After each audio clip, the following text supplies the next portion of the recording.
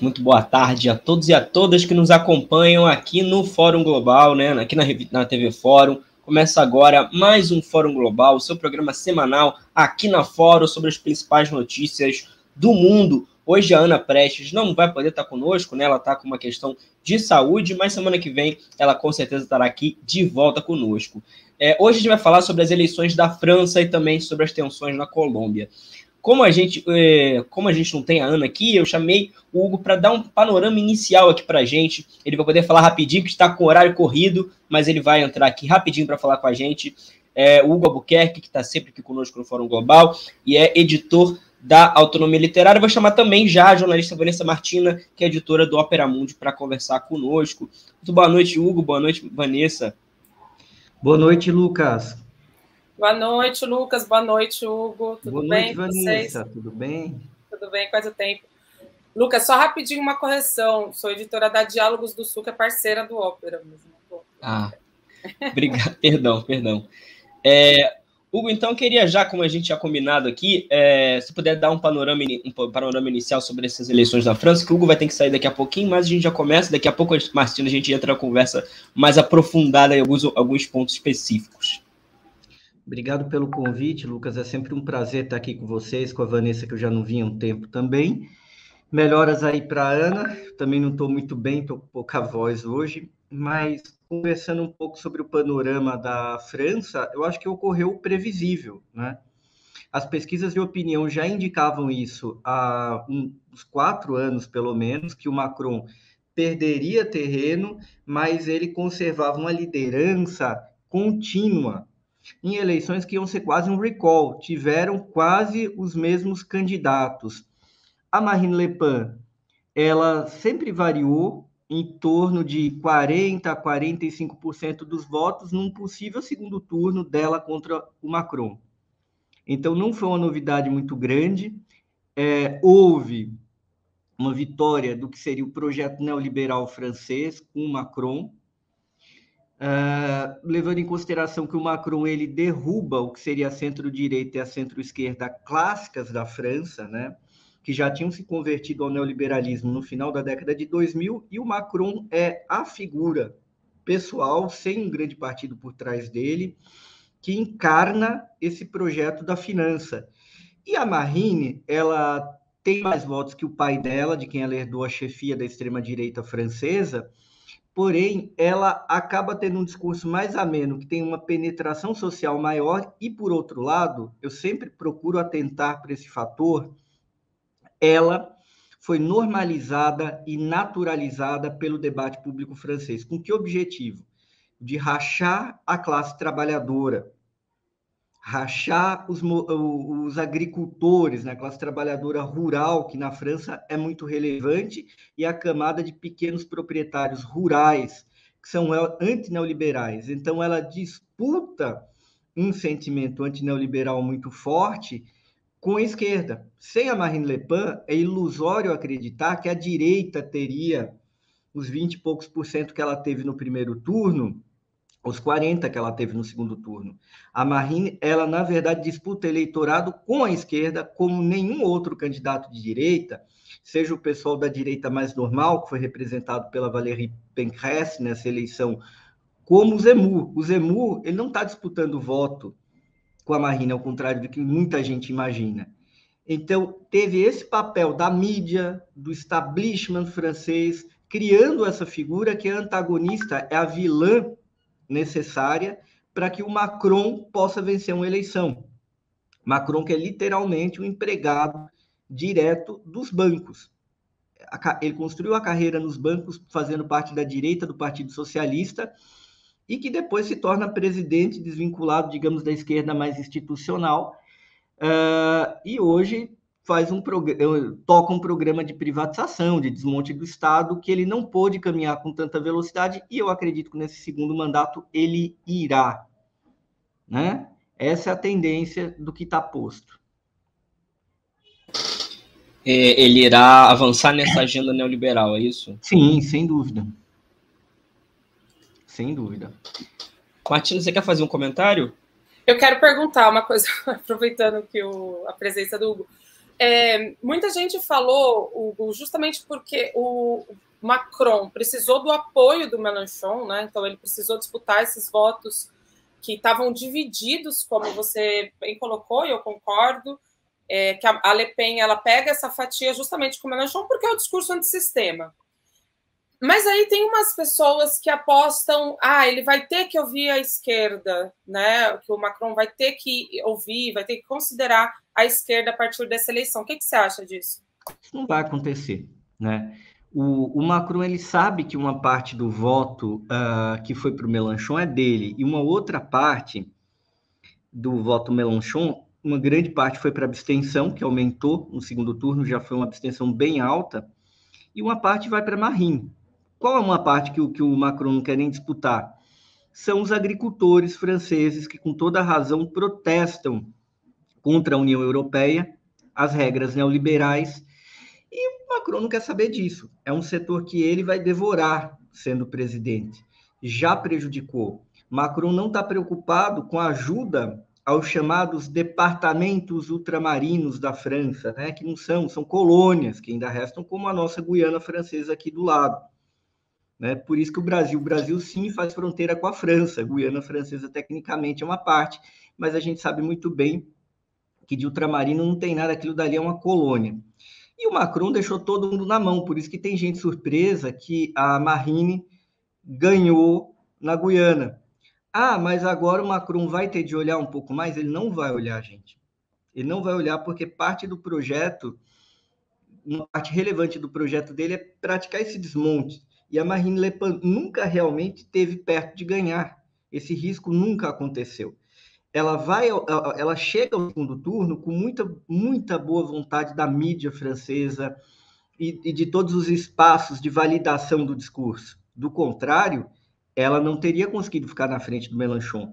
Ah, mas Hugo, as pesquisas apontavam que a Marine era mais competitiva do que o Mélenchon no segundo turno numericamente sim, mas o Melanchon representava uma alternativa que poderia, que estava realmente em disputa com o projeto capitalista, que realmente poderia ganhar por milagre contra o Macron, por milagre, mas poderia ganhar se chegasse lá. Então, o adversário a ser batido pelo establishment francês nunca foi a Marine, sempre foi o Melanchon, porque o Melanchon, representando, convenhamos aqui, uma social-democracia radical, é a grande ameaça a grande ameaça ao projeto da elite francesa que fechou desde o final da década de 2000 com um neoliberalismo mais quadrado e de terceiro mundo mesmo, e desmontou tanto aquela direita ao estilo de Chirac, de Pompidou, de De Gaulle, quanto uma esquerda defensora do bem-estar social, da soberania francesa, do não alinhamento absoluto da França aos Estados Unidos de lá para cá, num primeiro momento, parecia que a democracia francesa ia funcionar com a disputa entre uma centro-direita neoliberal, um tipo de Sarkozy da vida, ou uma centro-esquerda neoliberal do tipo Hollande. É, mas, por várias razões, o Macron falou: olha, é melhor dissolver isso daí. E ele construiu um movimento em torno da figura pessoal dele, que é a pura expressão dessa política líquida do, do neoliberalismo que não tem partido, não tem.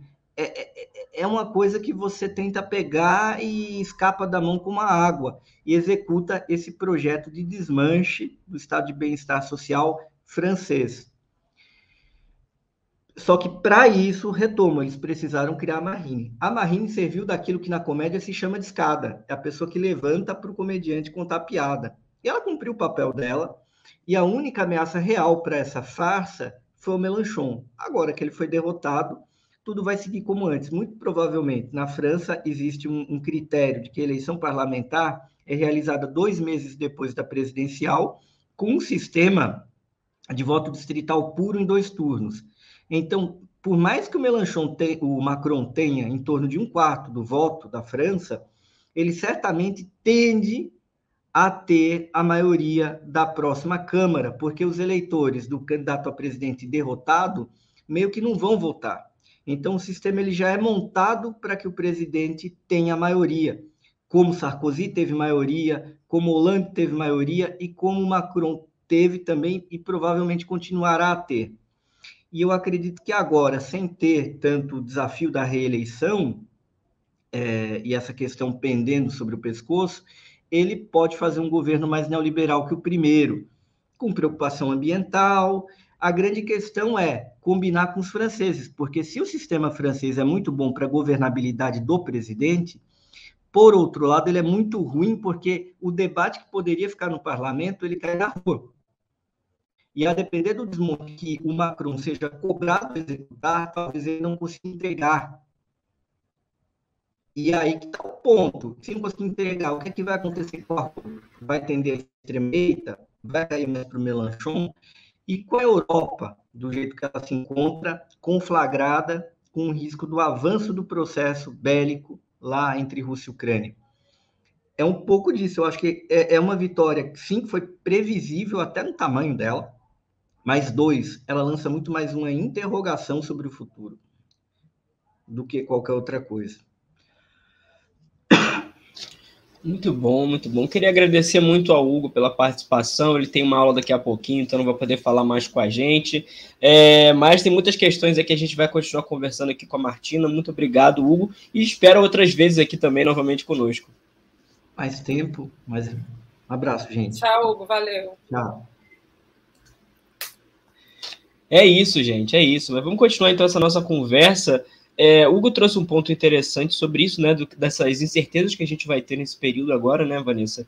É, e eu queria é, levantar a bola para isso também, de que o Macron venceu, né? Mas ele venceu com uma margem menor do que na última eleição. A gente tem um crescimento aí da, da Marine Le Pen, e principalmente, né, a gente tem é, menos gente votando, né? Na democracia francesa idealizada temos menos gente votando do que na última eleição. É, e a gente tem uma imagem também muito marcante, que acho que o Guilherme colocou aqui, é, do. Não, não colocou, não. É, que mostra né, que 91% de quem votou, do, dos, dos, de quem votou no Mélenchon e votou no Macron no segundo turno, 91% votou por causa de Marine Le Pen. 9% só disseram que ele ia ser que achavam que ele ia ser um presidente. Então a gente tem essa desconfiança muito forte, né? Como é que você vê isso, Vanessa?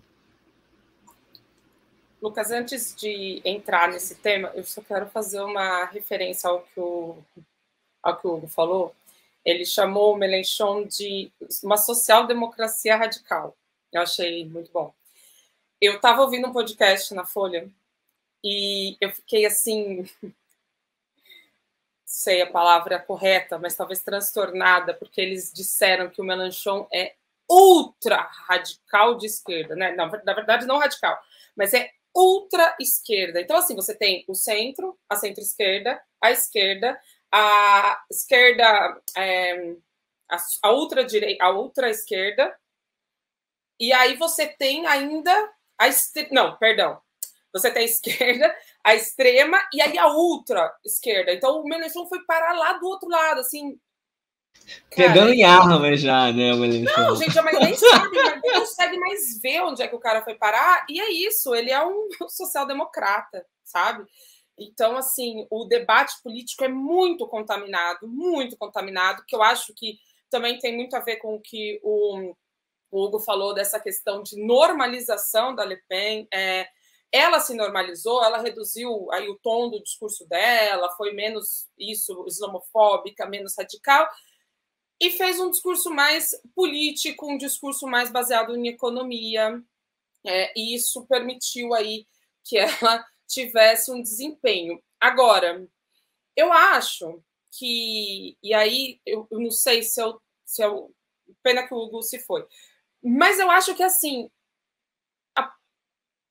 a Le Pen, ela saiu ganhadora é, desse, desse confronto, sabe? Porque ela, essa é a terceira eleição dela. Ela ganhou muitos votos, ela conquistou muito espaço. E ela só tem 58 anos, ela vai ser candidata de novo em 2000, 2007, acho que é. Ela vai ser candidata de novo. Então, e ela já é uma player no debate político francês há muito tempo. Ao contrário do Macron, que entrou na política do nada, ela não é essa figura. Então, ela vem de uma tradição política de extrema direita. O pai dela é, foi candidato com Chirac. perdeu as eleições. Desde então, esse movimento ele vem num crescente. Onde que eu acho que a gente está pecando, né? Assim, quando a gente faz a análise, é que porque é, é muito necessário debater por que a extrema direita está avançando. A gente muitas vezes tem a impressão de que não, mas olha, foi derrotada na França, foi derrotada agora na Eslovênia, é, não passou, né? Mas não é por aí. É, o espaço que eles vão ocupando, eles vêm nesse vazio que a esquerda deixa no debate. Eu tenho insistido muito nisso. A questão é a radicalização do discurso, é a radicalização da ação. As pessoas não aguentam mais o neoliberalismo. Só que quando a esquerda chega com a proposta e vai para o centro, que é o que estão fazendo aqui com o Lula, né? Vamos dizer, quando você pega uma proposta de esquerda e joga ela para o centro, o que você consegue? Você consegue perpetuar o neoliberalismo e fazer com que as pessoas observem e falem: ah, não vai ter diferença. Se não vai ter diferença, eu não preciso ir votar. Ou eu voto então na radicalização, eu voto no que é contra o sistema. Não quer dizer, como aqui no Brasil, que na França é 30% mais, né? Cadê meus números aqui? Mas que essa proporção de votos da Le Pen, que é todo mundo fascista, não quer dizer isso. Quer dizer que existe um descontentamento, e a gente viu isso nas ruas. A França é muito insubmissa, né? Que é o, o mote do, que é o mote do Mélenchon. A França é muito insubmissa. A França queima carro, é uma maravilha de ver os protestos franceses. Queima carro, sai às ruas, não sei o quê. Faz protestos durante meses, né? Que a gente viu com os coletes amarelos. Então, é, existe um movimento crescente contra o neoliberalismo, mas a esquerda não está dando resposta há muito tempo. Aí a gente entra em várias coisas que a gente pode discutir aqui: o porquê da abstenção, a crise de representatividade, a crise das democracias liberais. Tudo isso não responde mais à população. E eles acabam encontrando a solução, que são essas pessoas que uh, nos Estados Unidos eram aqueles, aquelas pessoas brancas que foram esquecidas pelo progresso, esquecidos pela globalização. A gente encontra o que viu nos Estados Unidos na França. E se a gente observar no Brasil toda a questão do eleitorado do Bolsonaro, a gente não vai encontrar uma resposta muito diferente. Então, é, esse vazio que está sendo deixado, não existe vazio na política, como não existe vazio, né? Então, ele é ocupado, e ocupado muito bem, como eu falei, mas só para ressaltar e fechar isso. A Le Pen centrou o discurso dela na questão econômica. Ela não ficou, apesar dela ter esse discurso islamofóbico, ela tem tudo isso, mas esse não foi o centro do debate dela. Embora o eleitor dela, em certa medida, concorde, etc. Mas ela centrou na questão do custo de vida, na melhoria de vida para as classes médias. A França está em estagnação econômica, está tá em decrescimento, né? Enfim, então tem várias nuances para serem analisadas, mas eu acho a Le Pen um player super relevante para o futuro aí da, da França. É interessante isso. E eu queria perguntar é, se você acha que o Melenchon segue sendo esse player importante. É, e outra coisa, né, que, que daqui a pouco, acho que pode entrar daqui a pouquinho, vou querer emendar nisso, né, que a gente teve, tem a extrema-direita, né, e se dá para considerar que o Melenchon, ou então não exatamente ele, né, a gente já teve essa discussão aqui em outra, outra live, né, já, é, já conversamos aqui outra, na, uma outra vez sobre a eleição francesa, é, se você acha que ele pode fazer esse contraponto é, no governo do Macron. O Hugo já falou um pouco sobre isso, né? Mas eu acho que seria interessante também a gente tentar seguir um pouco mais nesse caminho e falar um pouco mais sobre isso. É, como é que você enxerga é, essa possibilidade, né? De ter esse possível contraponto de esquerda na França, né? Porque no primeiro turno parece que a esquerda deu uma renascida, né? Depois do desgaste do Partido Socialista. E como é que pode ser daqui para frente, né? É, o Melenchon ele tem essa vantagem de apostar na radicalidade, de apostar aí num discurso antissistema. E, bom, tem várias coisas também que a gente pode discutir aí a respeito do Melenchon e das, tem até vários pontos de encontro, que é algo que a gente falou também no último programa. Tem, tem ponto de encontro entre ele e a Le Pen dentro dessa questão da crítica ao sistema, a própria crítica à União Europeia. Veja, assim que a eleição acabou, eu acho que o grande derrotado foi o Macron, mas é, São, são pontos, né? São coisas aí para a gente discutir.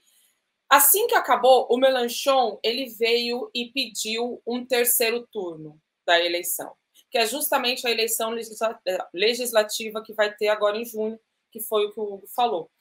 O padrão né, da eleição lá é muito complicado, é bem complexo, então essa coisa distrital é feita, é feita, é montada para uh, o partido, porque lá é semipresidencialista, então é feito para que o primeiro-ministro seja uh, do mesmo partido que o presidente.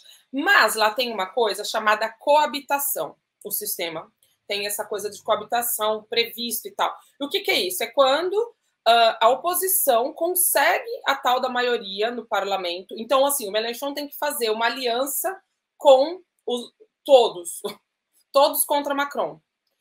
É, e aí pegar essa esquerda que não apostou nele no primeiro turno, no, é, no, primeiro turno, tentar pegar os verdes, enfim, fazer toda uma composição que ele já começou a trabalhar nela. Essa coabitação ela ocorreu em três momentos na França, em 86, em 93 e em 97, que foi ali justamente quando a gente teve o fim, né? Estava a crise ali da União Soviética e você já não tinha mais aquele contraponto, aquele balanço União Soviética, capitalismo, e a gente tem o quê? O neoliberalismo tomando corpo. Nesse processo, os presidentes não conseguiram fazer a maioria no parlamento.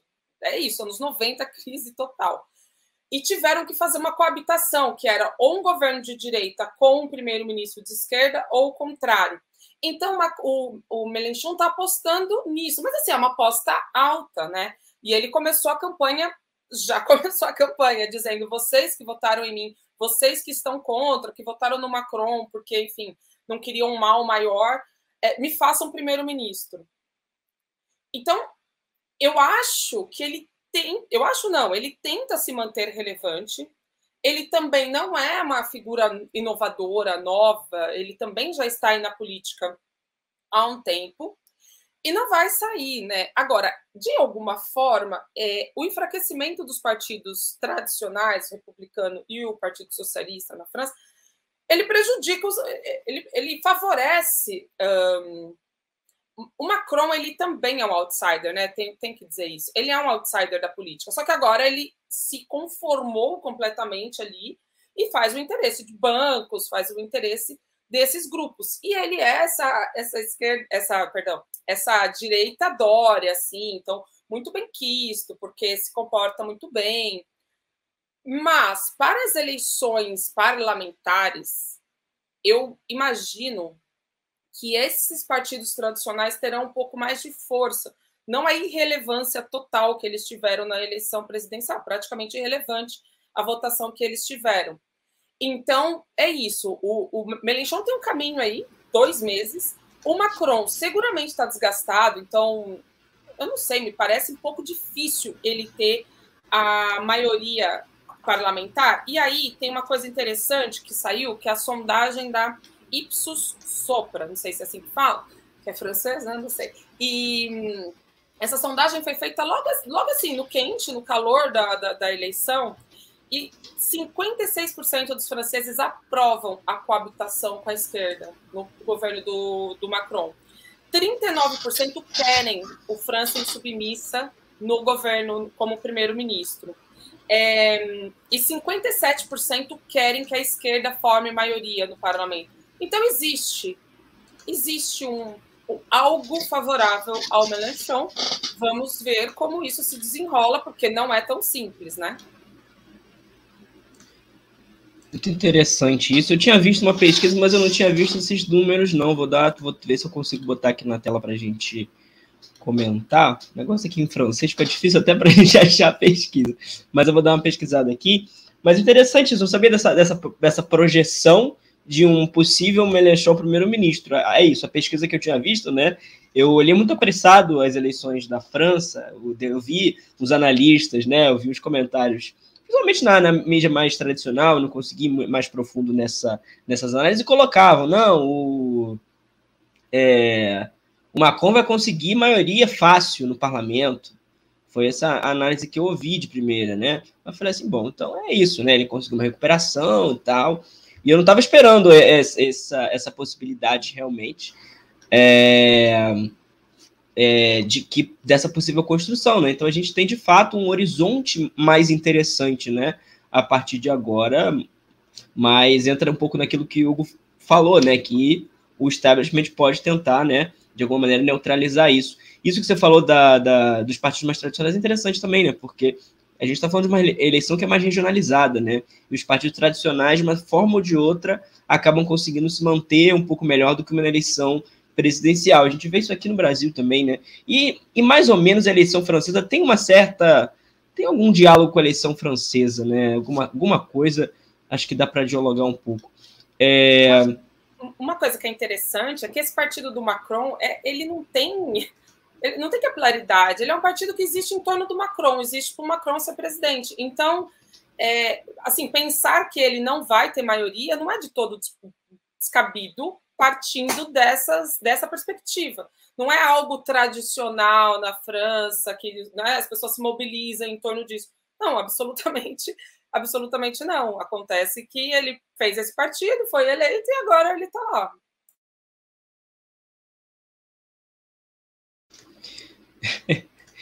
É, fica, fica mais difícil, né? Fica muito uma, uma imagem. E, e, se a gente viu nesses números uma não adesão tão grande ao Macron, né? É difícil imaginar que de fato ele vá conseguir ter um governo forte daqui para frente. É, mas eu queria perguntar também uma outra coisa. vou dar uma pesquisada se eu acho essa pesquisa que você comentou para a gente trazer aqui esses números. É, mas eu queria saber como é que você vê o impacto que vai ter na Europa dessa eleição, né? A gente tem a reeleição do Macron, ele se coloca aí como líder europeu, né, diante da guerra. A gente já botei aqui várias vezes aquelas fotos do, do Macron é, fazendo pose, de que está muito difícil, né? Os outros convidados não gostaram muito, né? Alguns convidados defenderam a posição do Macron. Eu acho que ele não teve uma posição, não fez muita diferença na guerra. Não sei como é que você vê, Vanessa. Para mim, o Macron estando ali ou não, não fez diferença quase nenhuma. É, eu queria saber como é que você vê o impacto desse, desse resultado na Europa, né? E principalmente por isso, ser, em certa maneira, um freio na extrema-direita, ao mesmo tempo em que a extrema-direita mostra que cresceu, né? É, bem interessante essa questão da guerra, né?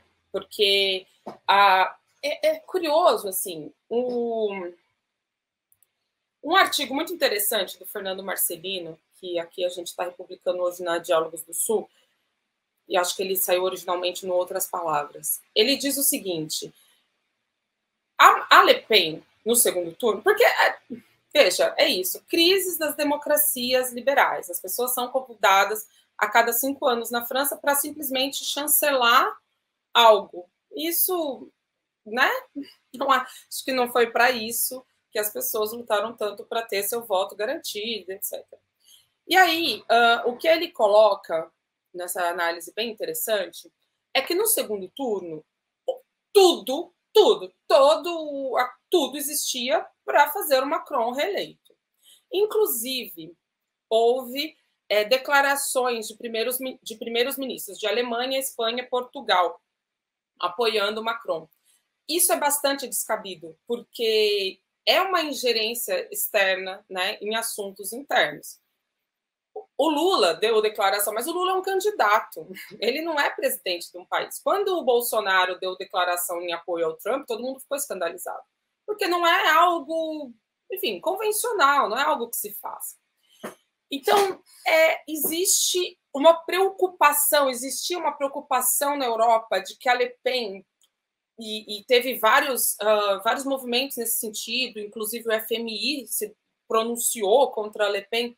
Então, assim, um medo, um temor, porque uma das coisas que ela é é anti-Europa, do tipo anti-União Europeia. Então, uma ruptura com a União Europeia ou com a OTAN, sendo a França o país mais militarizado da, da Europa, isso seria grave para essa aliança Estados Unidos-OTAN contra a Rússia. Então, a partir dessa perspectiva de que ela. Enfim, não sei nem se a gente consegue delimitar muito bem qual que é esse espectro em que ela joga, porque é, a extrema-direita é confusa, eles sinalizam uma coisa, fazem outra, mas dentro do discurso dela, é isso, os franceses não têm que pagar pela guerra, como Trump também falava. E, e análises muito interessantes, inclusive uma com o professor Reginaldo Nasser, elucidando que os democratas nos Estados Unidos são muito mais bélicos do que os republicanos. Praticamente todas as guerras foram feitas por democratas. A indústria da guerra está ganhando muito com isso. E o Macron, ele é parte desse, desse sistema, ele é parte do status quo, totalmente parte. Então, eu não, eu não vou dizer, porque eu não sei de verdade se uh, o papel dele é irrelevante, se ele conseguiu falar alguma coisa com o Putin, se, é, se o Zelensky pelo menos ouve. Eu, primeiro que eu acho que o Zelensky é um fantoche, a minha opinião é essa. Ele é um fantoche, ele não tem de verdade autonomia de gestão na, na Ucrânia. Tudo que ele faz ali é, é, é como se fosse um teatro, né? Então, ele está a serviço de algo muito maior. Agora, eu não sei dos diálogos do Macron com o Putin quanto se avançou, mas eu entendo também que tem, inclusive, isso fez parte do, do, do desgosto dos franceses com essa eleição, o fato de o Macron querer se tornar Merkel, né? Então, querer ser uma grande liderança europeia, é, negociando esse tema da guerra, se fazendo de uh, serviçal dos Estados Unidos ali para fazer essa mediação, enquanto os franceses estavam preocupados com pão, comida, entendeu? Estava preocupado com o preço que só vai aumentar. Porque, óbvio, esse é, afeta todo o mundo, literalmente, mas os franceses muito mais, porque estão muito mais em contato. Então, o papel que ele ainda joga nessa, nessa questão da guerra, eu, eu acho que o Macron também ele é ele se quer fazer importante, mas quem está manipulando a, a, conjuntura é Estados Unidos e Rússia. Estados Unidos porque comanda a OTAN e Rússia porque está com seus interesses ali diretamente sendo atacados pela OTAN. O Macron é outra coisa que a Le Pen fala também que, que acho que é assim, bastante sintomático do que está acontecendo com a França é, é, que a França não deve ser vassala da Alemanha. Olha isso. Por quê? Porque a Alemanha controla a, ali todos os aparatos da União Europeia. E no entendimento do Le Pen, justamente pela organização de como é feita e como se dão as coisas na União Europeia, quem manda é a Alemanha. Então, ela defende uma volta a uma França gloriosa, bem estilo Trump, uma França gloriosa, algo que existia nos anos 70, quando eles eram uma potência, ou enfim, estavam descendo e estavam bem. É... O Macron não passa nem perto disso, né? De, de, de ter essa relevância, ou, ou de, sei lá, minimamente projetar a França para alguma relevância nesse sentido. E aí acaba que, sei lá, tem um vazio de liderança também na França, né? Porque o Olaf Scholz também não é essa liderança. O Macron não é, e é isso. A França, a, a, a Europa está ali totalmente. Quem que governa? Não governar, mas assim, quem que quem é a liderança europeia nesse momento? A OTAN? Quem é a OTAN? Estados Unidos. Então é bem complicado. É, nessa guerra parece muito que a Europa meio que se curvou a isso, né? Que não, não se colocou, né? De acordo com suas necessidades até, né, Vanessa? Porque é isso, a, a Europa precisava muito do, precisa muito do gás russo, né? E no meio dessa guerra, em vez de tentar fazer uma ponte de certa maneira mais firme, né? Enfim. É, não era o nosso tema principal, mas. Armas, né? Desculpa, desculpa. Não, não, pode continuar. Não, eles não. É, é, esse é o ponto. Eu acho que a, essa hipocrisia é gritante. Não vê, só não vê quem não quer. Porque o, o Macron diz: não, ah, vamos negociar, e aí diz que liga para o Putin, e liga, liga para. Agora, não dá para você. Você quer negociar comigo, mas você está dando arma para os meus inimigos, como é que a gente fica? E a cada dia é notícia de mais armamento. Uma hora é a União Europeia, uma hora é a, a Grã-Bretanha, outra hora é, é Estados Unidos que manda, né? Que tergiversa, mas manda. Então, ao fazer isso, eles não estão abrindo caminho real para a negociação da paz. Então, sei lá, a Rússia diz que já controlou Mariupol. Aí você faz o quê? Fala, não, vamos lá, beleza, você controlou lá, vamos negociar aqui, vamos sentar, vamos estancar a sangria, vamos parar? Não. Então tá, então a gente vai mandar mais bomba, mais arma para a Ucrânia para acontecer o quê? Para, né? Então, assim, não existe, não existe neste momento, desde o meu ponto de vista, nenhuma articulação real para o fim da guerra. Né? A Rússia está avançando, mas não dá para negar também a resistência ucraniana e que o exército deles, enfim, foi treinado pela OTAN nos Estados Unidos, inclusive, e estão fazendo aí, enfim, estão se mantendo de alguma forma. E, e, e, a perspectiva de que isso siga, que isso continue, é terrível para o mundo inteiro, né? A cada dia a gente acha que as pessoas estão mais alarmadas, abrindo o jornal, vendo esses, eh, o noticiário da mídia tradicional dizendo risco de uma guerra nuclear, terceira guerra mundial. Então já começa até a preparar as pessoas, normalizar isso de ataque nuclear, de guerra, de terceira guerra mundial, sabe? É, não, não sei, não vejo essa perspectiva de que se solucione, que Macron ou qualquer outra pessoa faça muita diferença. É quase uma banalização, né? Como se fosse um recurso que pudesse ser utilizado, né? A arma nuclear. E a gente teve o Lavrov, inclusive, falando, sinalizando que poderia ter essa escalada. É, o chanceler russo sinalizou isso, acho que foi hoje, se eu não me engano, fez essa sinalização. Enfim, é uma coisa que tem, tem que deixar a gente muito preocupado, né? No início se falou tanto disso que parece que ficou uma coisa meio, meio besta, né? Porque falava qualquer, ah, não, porque por quem envolveu a Rússia vai ter uma crise nuclear.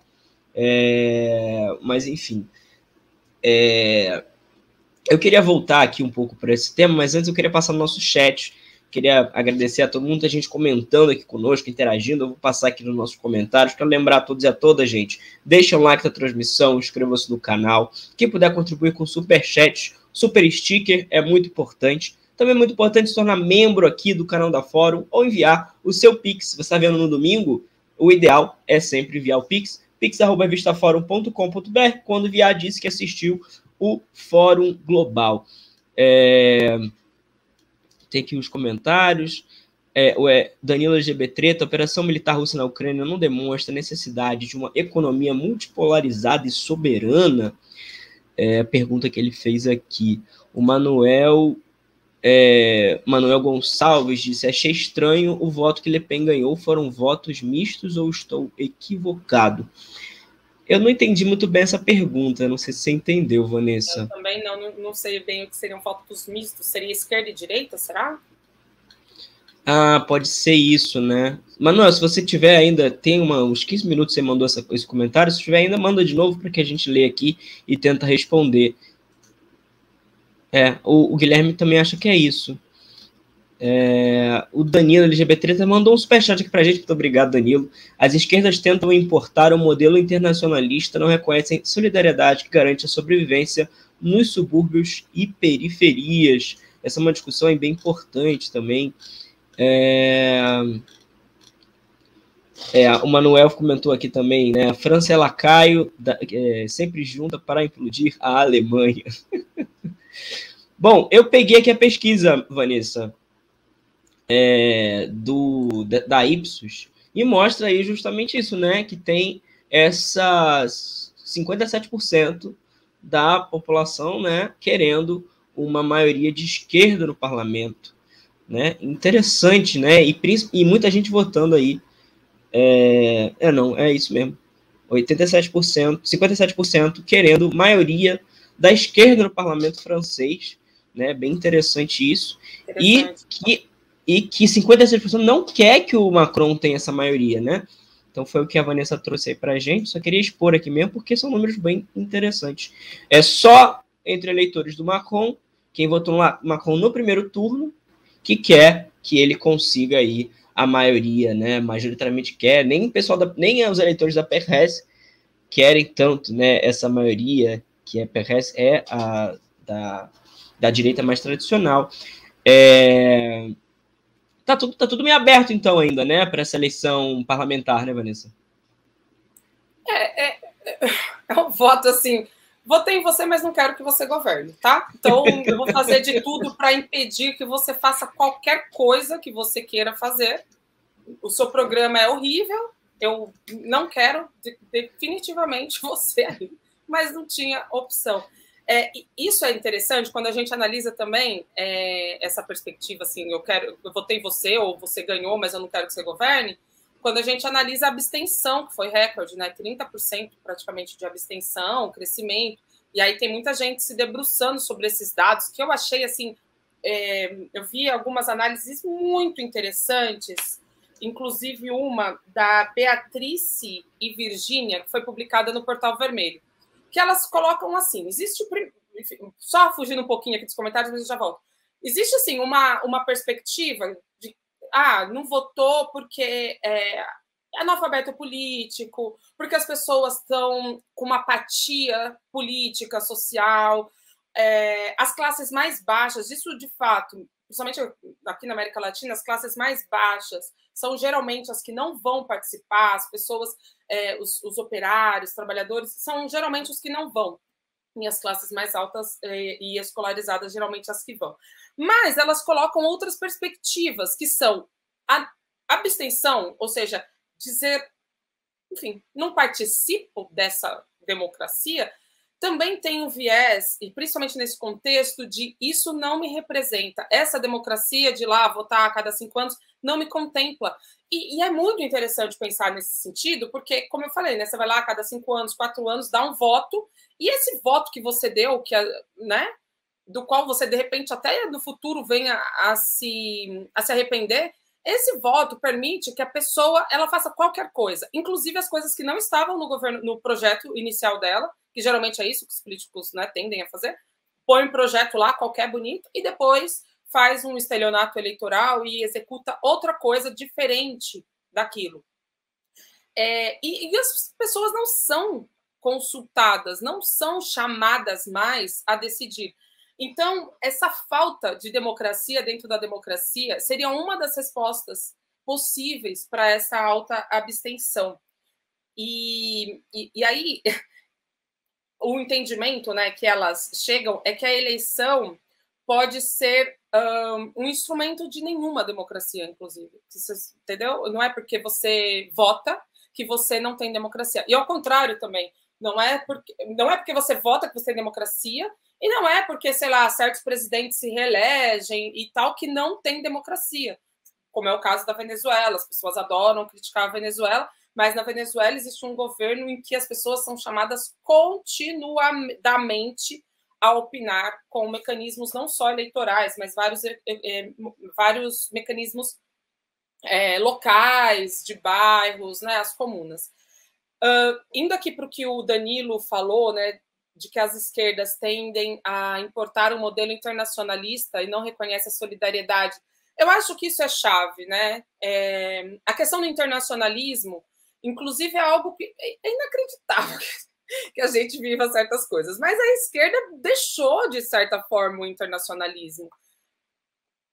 E ao contrário, a direita está apostando totalmente no internacionalismo. Uh, o Vox, partido de extrema direita da Espanha, esses dias fez um congresso aqui na América Latina, acho que foi no Peru, se não me engano, não sei exatamente em que país, acho que foi no Peru, fez um congresso chamando aí vários, uh, vários representantes da extrema direita latino-americana para fazer uma frente, para conseguir uh, governar, para conseguir mais é, mais espaço dentro das dos nossos países. A gente tem também todo um movimento internacional, do, agora é, me foge o nome, mas do qual o Eduardo Bolsonaro participa. Então, assim, eles estão internacionalizados, né? E a, e a, e a esquerda, que sempre defendeu o internacionalismo, está com uma dificuldade grande de se colocar agora nesse momento. E, e, eu acho que o que ele coloca aí é importante, né? De as esquerdas é, as esquerdas no internacionalismo popular também, eu acho que isso é importante. E acho que isso ajudaria a responder tanto à crise de representatividade. Eu acho que não foi aqui que eu disse isso, mas dos 12, veja, a França ela tem 8% de, de pessoas muçulmanas, é a maior quantidade em toda a Europa.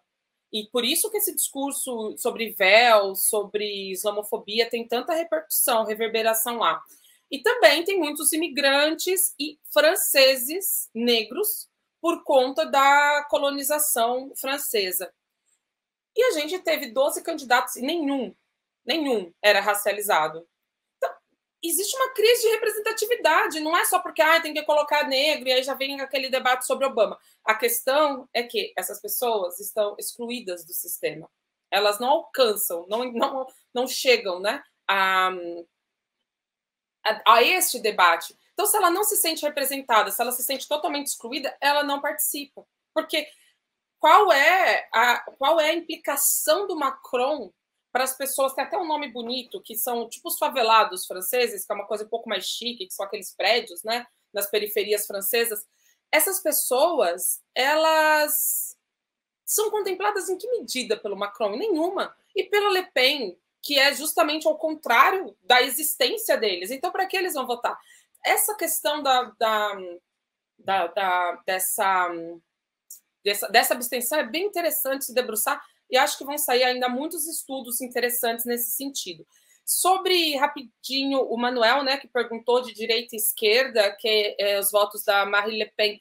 Olha, é, a base dela é bem diversificada, de fato, né? Porque como ela focou nesse discurso com relação ao custo de vida, com relação a com relação à economia direta, uma perda de força da classe média, a base da Le Pen é burocratas de alto escalão, comerciantes, operários, jovens e aposentados e esse entorno parisiense, né? Vocês veem que o mapa da votação dela tem aquele norte da França, assim, então é tudo pintadinho de azul, a parte de cima da França, que é essa parte rural, até que o Hugo falava.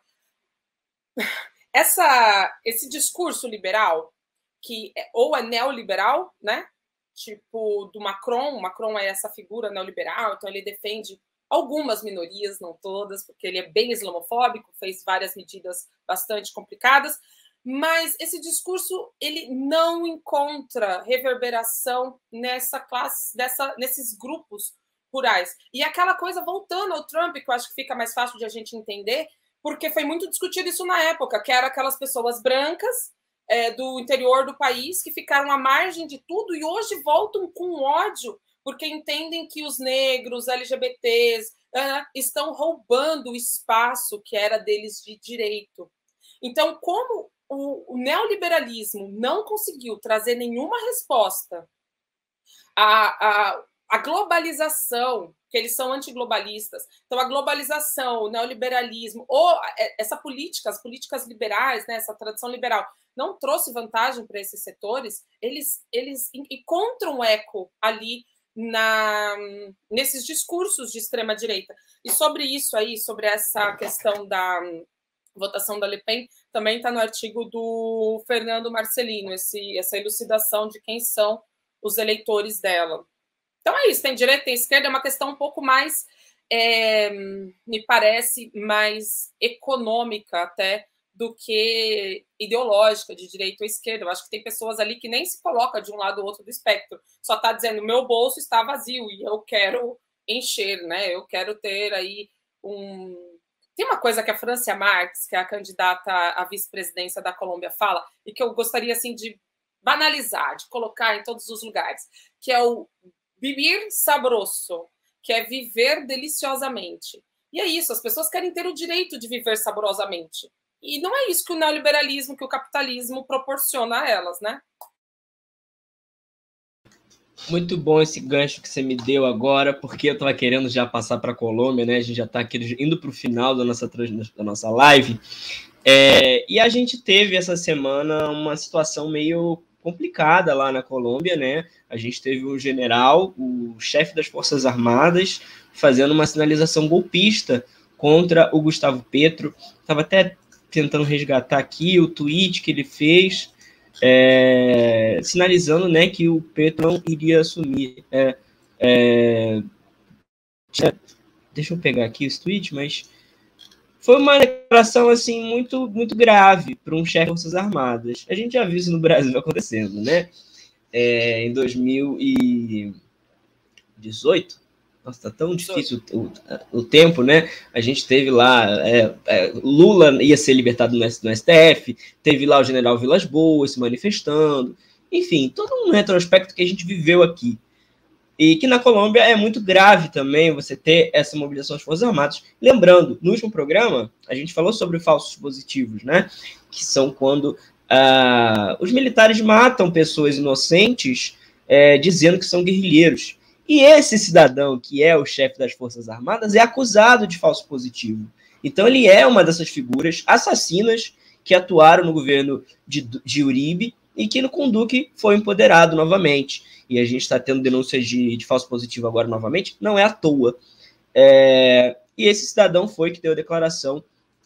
É, foi, no, foi no tweet comandante, não é um tweet Twitter pessoal, é o tweet comandante. E sinaliza aí que não aceitaria o Petro como presidente. É, enfim, agora eu não vou conseguir achar esse tweet muito rápido, mas foi uma, uma situação muito grave e até adversários políticos do, do Gustavo Petro fizeram, é, sinalizaram apoio, né, dizendo que era um absurdo, era muito grave é, o que foi dito. Porque é uma sinalização de golpe, né, Vanessa?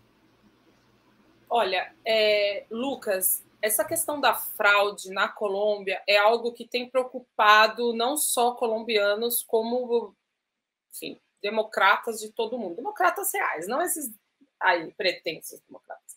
De todo mundo. Por quê? A Colômbia nunca foi governada pela esquerda e ela sempre esteve na mão da ultradireita, né? Não, nem sempre, mas há muitos anos ela está na mão da ultradireita. Aí vem Álvaro Uribe, na sequência vem o Manuel Santos, e o Santos ele era, é, ele era ministro da Defesa do Uribe. Por uma questão assim, eles romperam. Mas não significou uma democratização. O Juan Manuel Santos fez o acordo de paz com as Farc, mas da mesma maneira ele seguia sendo um presidente neoliberal. O Gustavo Petro, com a Francia Marx, eles são, é, pelo pacto histórico, que é esse, part... esse movimento, partido, movimento que foi criado aí em torno dele, é, deles, né?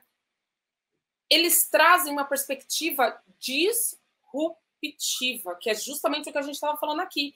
Eles não estão modulando o discurso, eles não estão caminhando para o centro, eles estão fazendo a batalha de ideias. A Francia Marques, inclusive, ao ser colocada como vice como vice-presidenta, ela significou uma radicalização do Petro. Porque muita gente discutia, é, só, só recordando aqui rapidamente, teve uma prévia eleitoral e aí todo mundo podia lançar candidato. O pacto histórico tinha dois candidatos, o Petro e a Francia Marques. Petro ficou em primeiro lugar e a França em terceiro. Então, entre todo o espectro político, a esquerda teve dois mais votados, o Petro e a França Marques. Então, muito se discutia na época ah, quem que iria colocar é, como vice. Então, cogitaram vários nomes, mas para o centro. E ele apostou na radicalização e colocou a França Marques, mulher negra, é, ambientalista, né? Ela, ela vem de uma comunidade tradicional no norte, acho que é norte, no norte do país, e defendeu aí todo o movimento contra a extração ilegal de ouro. Bom, ele, por representar uma ruptura, um antissistema, mas é um antissistema raiz, né? A gente está falando aí de uma esquerda que vem de uma tradição de esquerda, que vem de movimentos populares, movimentos sociais, de mulheres, de negros, de todo mundo. É, isso coloca o Estado colombiano em xeque. Então, assim, a, a perspectiva de fraude, a perspe... eu queria, deixa eu ver se eu acho aqui rapidamente uns números. A perspectiva de fraude, a perspectiva é, de violação, de atentado. Francia Marques está jurada de morte, inclusive. Há um, a segurança do Petro está super preocupada com a possibilidade de um atentado. Gente, a gente está falando de um país que, apesar do que a imprensa pinta, do que as pessoas é, colocam muitas vezes, porque é um paraíso neoliberal, de fato.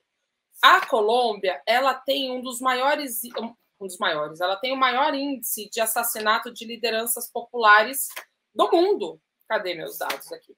É, é como se as pessoas, para dar uma né, elucidada e tal, é como se a gente lá tivesse a morte de uma Marielle Franco por dia, que são lideranças sociais, são líderes de defensores de direitos humanos que são assassinados. E isso, de certa forma.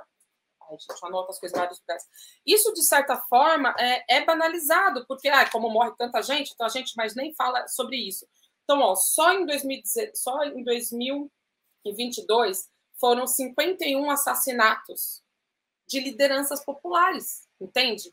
É, Desde, desde 2016, quando foram assinados esses acordos com as Farc, foram 1.335. E na quarta-feira, amanhã, amanhã às 18 horas, na Diálogos do Sul, Comunica Sul e Barão de Tararé, a gente vai divulgar, vai veicular, né, legendado, uma entrevista com a deputada Ha, ha, ha, Hadway, não, Hadway é o, é o colombiano, peraí. É, ha, Quiroga, deputada Quiroga, senadora Quiroga, pronto. Senadora Quiroga, e ela era parte da UP. A UP foi um partido que foi exterminado com mais de 5.600 pessoas mortas. Gente, imagina, um partido inteiro exterminado. Ela foi parte desse processo. Isso é Colômbia. É você matar todo mundo. Você não, não mata um, dois, três, não derruba um jatinho. Você mata todos. Então, diante disso, está todo mundo alarmado e, e, todo mundo muito preocupado com o que pode acontecer é, no país. E aí, já aproveitando o gancho, a Comunicação, que é um coletivo de comunicadores populares e veículos aqui brasileiros alternativos, vai cobrir as eleições lá. Então, é, já tem uma cobertura prévia que a gente está fazendo, mas a gente vai, em loco, fazer essa cobertura justamente para é, quanto mais pessoas estiverem envolvidas, quanto mais vozes e olhares estiverem colocados sobre a Colômbia, menor, esperamos, vai ser a, a chance de fraude. É, eu queria o um número aqui da. Porque no primeiro já teve as eleições legislativas né, na Colômbia. E aí roubaram. É, histórico, roubaram os votos do pacto histórico, mas assim, descaradamente. E depois dessa de uma recontagem que inclusive o Uribe patrocinou, foi assim uma grande balbúrdia. E depois dessa recontagem eles conseguiram várias cadeiras a mais. Então assim, se isso já foi feito na eleição legislativa, a gente pode esperar muita coisa até as eleições presidenciais que são em 19 de maio, 29, 29 de maio. Saiu uma pesquisa, é, só para amarrar um pouco isso também, saiu uma pesquisa agora que dá 47% para o Gustavo Petro. Vanessa, eu não sei, eu não, não sei se lá tem o mesmo esquema da Argentina, da Bolívia, de 10 mais 1 ou, ou não. Lá é 50 também, que nem o Brasil. Você sabe é 50, disso? É 50%, é 50 dos votos válidos. E, e aí também tem um movimento bem relevante querendo que ele. Tipo, gente, vamos adiantar o segundo turno. O segundo turno é super democrático, é ótimo que exista, beleza. Mas o segundo turno é uma outra eleição. E aí o candidato do segundo, que está no segundo lugar, é uma coisa fabricada completamente, é o Fico Gutierrez. Ele é totalmente fabricado, sabe? E ele é essa esquerda, é, perdão, essa direita uribista, que é extrema. Vamos botar lá na ultra? É a ultra direita. Não, a gente não pode banalizar os conceitos. É uma extrema, é uma extrema direita, que é, é a direita uribista, e, e esse cara está em segundo lugar. Então, assim, passando para o segundo turno, seria, enfim, difícil, apesar de o Petro ter também projeções indicando a vitória dele, mas é uma outra eleição, aí você tem a, a reacomodação de forças políticas, o terceiro lugar, que geralmente vai lá, né, pelas perspectivas também, vai ficar com a direita. Olha só o absurdo aqui do que eu estava falando. É, em 23 mil locais é, teve duplicidade de votos. Em 29.425 zonas não teve nenhum voto por pacto histórico. Uma coisa é você fraudar. Assim, Caramba! Vota 10. Outra coisa é tirar tudo, zera, vamos zerar. Então, é, esse é o nível, esse é o nível da, das eleições na Colômbia. É grave, é grave, é bastante grave. Isso que você falou, Dudu, que a gente está indo para o final, mas é uma coisa muito importante do, do FICO, da extrema-direita, né? É, ele no início até fingiu, né, Vanessa? Ele fingiu que não era, fez o jogo, que não era bem isso, né? Aí o, o Duque tirou o candidato dele, apoiou o Fico e ficou bem claro quem era esse cara. Mas a gente tem esse problema aqui de não chamar a Colômbia de extrema-direita, de achar que a extrema-direita nasceu com Bolsonaro, mas a Colômbia está aí matando gente. Ah, teve um comentário aqui sobre isso, né? Achei que é, foi o Manuel. É, pensei que falso positivo era só na aula de imunologia. Na verdade, é porque é uma tradução, né, também, o falso positivo, né, de um, de um esquema que foi feito é, para aniquilar guerrilheiros no governo do Uribe, só que não aniquilava só guerrilheiros. o que já é uma coisa muito complicada, né? Mas, enfim, quando a gente está em uma situação de guerrilha, dá para se entender essa de alguma maneira. Só que era pior, ele não exterminava só guerrilheiros, entre aspas. Exterminava qualquer um e dizia que era guerrilheiro para ganhar dinheiro, né? Porque ele teve uma política de dar dinheiro é, para os soldados que assassinassem guerrilheiros. É uma coisa assim surreal, né? E estava matando camponês, principalmente, né? Esse é, modelo hoje... hoje... é vigente no Brasil, né? É, Veja, eu, isso, é, eu, desculpa, eu interrompi, mas é porque você falou já. É, aqui nas eleições brasileiras, a galera falava: ai, o Brasil vai virar uma Venezuela, o Brasil vai virar uma Venezuela. Antes fosse, a gente virou Colômbia, e vocês não têm noção do que é ser uma Colômbia. Como você disse, é, é, é botar falso positivo e pagar por produtividade, né? Isso a gente está é, discutindo aqui no Brasil, essa questão no Rio de Janeiro, principalmente. Teve ontem, é, teve ontem. Teve ontem a morte do Jonathan. Foi basicamente isso, né? Você vai lá, mata, depois bota lá, bota uma arma fabricada na mão da pessoa, do moleque negro, da periferia lá, da favela, etc.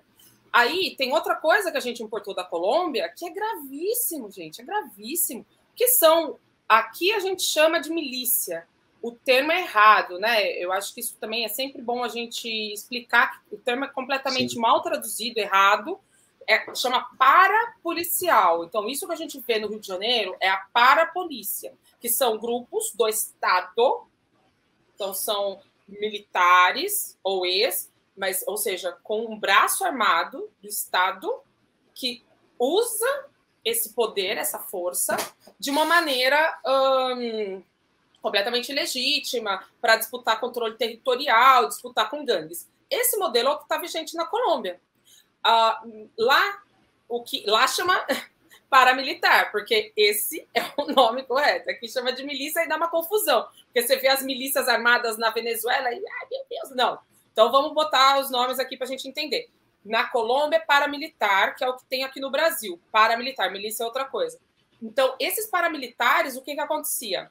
No, na, na Colômbia eram três forças: a guerrilha, a, o exército e os paramilitares. Os paramilitares chegavam em regiões disputadas narco, em regiões dominadas pelo narcotráfico, entrava em confronto, fazia os falsos positivos, colocando camponês como se fosse guerrilheiro das Farc, vinculava a Farc com o narcotráfico, tomava o controle territorial e fazia o quê?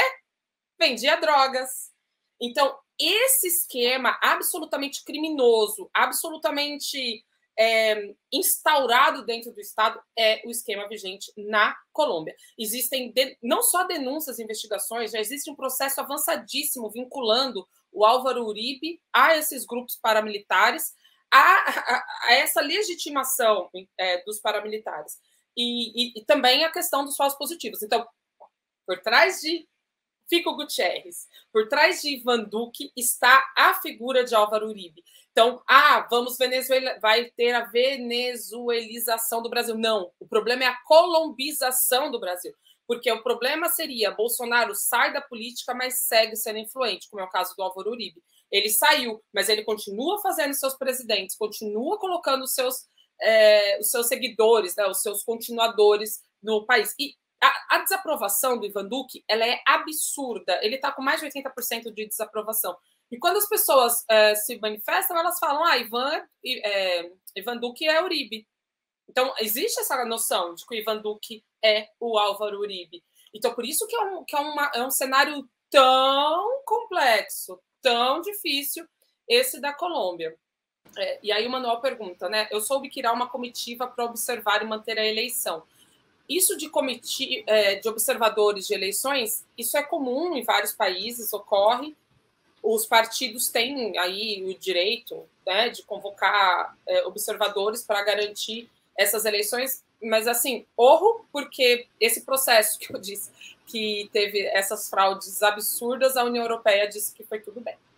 Que estava lá como observador, falou: não, foi tudo bem, a eleição teve uma coisa em outra, mas nada significativo. E aí, depois que a depois que eles conseguiram na justiça uma contagem, nova contagem aí dos votos, aí falaram: ah, veja bem, então, quando interessa, eles colocam a pecha de ah, ilegítimo, como tem aí esse quadro maravilhoso da Garganta Poderosa que eu amo, do Evo Morales. Ah, foram lá falar. Ai, foi legítimo, foi fraudado, não sei o quê. quando depois se comprovou que foi legítima.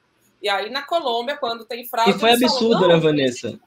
Como? E foi muito absurdo, porque você acompanhava a apuração na Bolívia, tinha uma Nossa. curva óbvia, era uma curva óbvia, não teve nenhuma. Nada assim, você pega a curva de votos, é uma curva natural que vai crescendo aos poucos e, e não tem nenhum, uma, nenhuma mudança brusca. E se taxou como, como fraude. Uma coisa não, assim surreal, né? E assim, é, bastava ent entender o mínimo, o mínimo, não precisava ser entendedor da Bolívia, especialista, grande estudioso, que estava 10 anos estudando Bolívia. Basta entender o óbvio, que é os grandes centros são computados primeiro, e aí tinha um voto mais disperso e que ia também para a direita. Mas o Evo Morales é uma unanimidade nos setores da Serra, né, é, nos setores um, da, nos setores amazônicos ali, né, da selva. Então, na serra, na selva, em todo o interior duro, ele era unanimidade, ele tinha 90% de votos. Então, era óbvio que à medida que esses votos fossem chegando, e os votos vão, sei lá, a cavalo, demora muito para esses votos chegarem. À medida que esses votos fossem entrando, a quantidade, a diferença ia. Porque é muito grande a proporção, né? 90 para o Evo, 10. É, eu acho que era o Mesa na época, preciso rever quem era. É, mas acho 90 para o Evo, acho que era o Mesa, né? 90 para o Evo, 10 para o Mesa. E assim foi indo. Então, né, você vai encurtando. Mas não. Então, se, adi se adiantaram, proclamaram fraude, depois várias e várias investigações e auditorias comprovaram que não teve nenhuma fraude. Nisso derrubaram o governo, derrubaram ministros, tiraram é, todos os políticos, na, senadores e que eram apoiadores do MAS, fizeram um golpe de Estado escroto, completamente feito para roubar o lítio, como o próprio Elon Musk deixou bastante evidente. E, enfim, né? A sorte que a Bolívia conseguiu reverter, mas poderia estar como no Brasil aqui, sofrendo hoje. E com dois massacres, né? E com dois massacres dois que é importante massacres. também lembrar, né? Dois Boa. massacres que com o dedo da Organização dos Estados Americanos. E Bom, gente. vinculação do Macri com fornecimento de armas, ex-presidente da Argentina com fornecimento de o armas. O liberal Maurício Macri, o liberal Maurício estuda, Macri. E olha a gravidade, se estuda os dedos brasileiros nesse processo do golpe na Bolívia. É. Vai ser um processo que vai ter que ter muita investigação por muito tempo. A Argentina está fazendo o papel dela, é importante, né? Elucidar tudo isso, né? É, e ver até onde foi que teve intervenção internacional nesse golpe, né? É... Enfim, eu queria, gente, agradecer muito a participação da Vanessa aqui no nosso programa. Queria agradecer muito a nossa audiência que ficou aqui até o final, comentando até o final. Se você gostou, gente, não esqueça de deixar o like, compartilhar esse vídeo. É, quem puder mandar um pix, pix.revistaforum.com.br, superchat ainda dá tempo. Vanessa, quiser fazer um comentário final para a gente encerrar esse nosso programa? Não é isso, gente. Eu acho que. Bom, a gente estava falando de França, mas aí falou de América Latina, eu já me animo. Eu acho que, que essas eleições na Colômbia elas vão ser transcendentais depois das eleições brasileiras, por motivos de ser a maior economia e de o Brasil tá, estar exportando fascismo aqui para nossa região, serão seguramente as eleições mais importantes. E todo apoio assim de acompanhar o noticiário sobre Colômbia, de ajudar a reverberar as notícias que a imprensa alternativa, que a Fórum, Diálogos do Sul, Opera Mundi, etc., publicam, é fundamental para a gente evitar, né? Coisas como chamar Melanchon de ultra esquerda ou colocar essa pecha também no Petro, porque isso vai acontecer, daqui a pouco vão fazer isso, dizer, ah, Petra é ultra radical, extremista, Tá longe vai, disso, né, Vanessa? Vai roubar longe sua casa, disso. essas coisas que, que, a, essas falsidades, falsificações que a imprensa costuma fazer. Então, assim, se informar, compartilhar essas, essas verdades, né, e essas, essas, um, esse material que a gente produz aí com tanto esforço é fundamental. E sobre a França, bom, aguardemos as eleições de junho. Eu acho que vai ser emocionante, né? Espero. Vai dar também uma graça, porque se o Macron ganhar vai ser o, o, cenário que o, que o Hugo falava, de cabo a rabo, neoliberalismo, e aí esse modelo não é nada não favorece em nada os trabalhadores, não só, enfim, franceses em qualquer lugar do, do mundo, né? Só nos prejudica e tira direitos. Então, ojalá que algo mude, né? Para dar uma graça também. É isso, gente. Muito obrigado pela audiência de todos e todos. Só para avisar a nossa audiência, estarei de férias no mês de maio. Pode ser que apareça aqui no, em algum programa ou outro. É, certamente estarei no programa pós-eleições da Colômbia no final do mês. Mas até lá a gente vai vendo. Quem quiser me acompanhar no Twitter, a gente tira férias, né, Vanessa? Mas não consegue sair do Twitter. Então, por lá eu continuo. Eu sou do Instagram. Eu, eu não sou muito ah. do Twitter. Eu sou do Instagram. Bom, Mas é isso, gente, obrigada, é Lucas, pelo convite. Obrigada a toda a audiência aí, pessoal que comentou, mandou pergunta. Adorei participar. Até mais. Tchau, tchau, gente. Tchau.